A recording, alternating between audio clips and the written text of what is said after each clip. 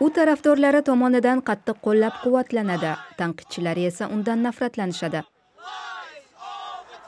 Donald tramp amriko siyosatini yana bir bor larzaga solmoqda.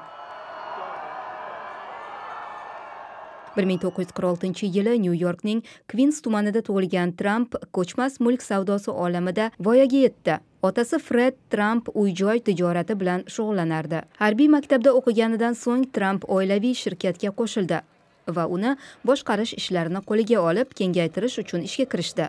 Golf maydonchalari qimorxonalar hashamatli mehmonxonalar mashhur tramp minoralari boylik va qudrat ramziga aylandi. Ammo trampning maqsadlari buyukroq edi. 2004 yilda u shogird televizion barnomasi boshlovchisi sifatida yosh avlodga yuz qaratdi. Siz ishdan bo'shatildingiz degan iborasi trampni mashhur qildi. 10 yildan ko'proq vaqt o'tgach u o'z maqsadini ancha kattaroq yo'nalishga qaratdi ya'ni amriko jamhur raisligi.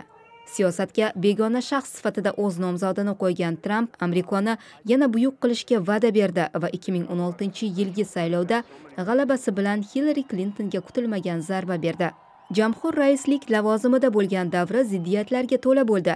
U iqlim o'zgarishi va savdo sohalaridagi yirik kelishuvlardan voz kechdi. Aholisining aksariyati musulmon bo'lgan yetti davlatdan tashrif buyuruvchilar sayohatini taqiqladi.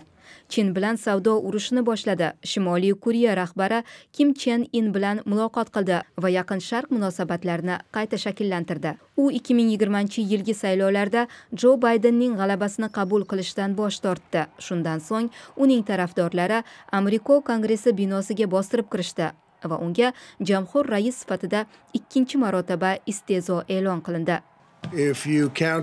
Qonuniy ovozlar sanalsa men osonlikcha g'alaba qozonaman noqonuniy ovozlarni hisoblasangiz ular g'alabani bizdan olib qo'yishga harakat qilishlari mumkin deydi tramp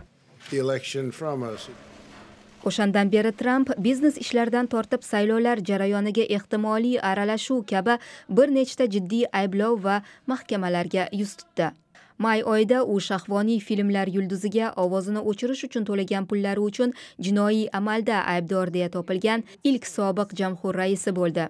Ammo bu kabi to'siqlarga qaramay donald tramp o'z sobiq lavozimiga qaytishga va'da berdi. U respublikachilar hizbi tomonidan nomzodlikni qo'lga kiritdi va saylov kampaniya davomida ikki marta suiqasddan omon qoldi.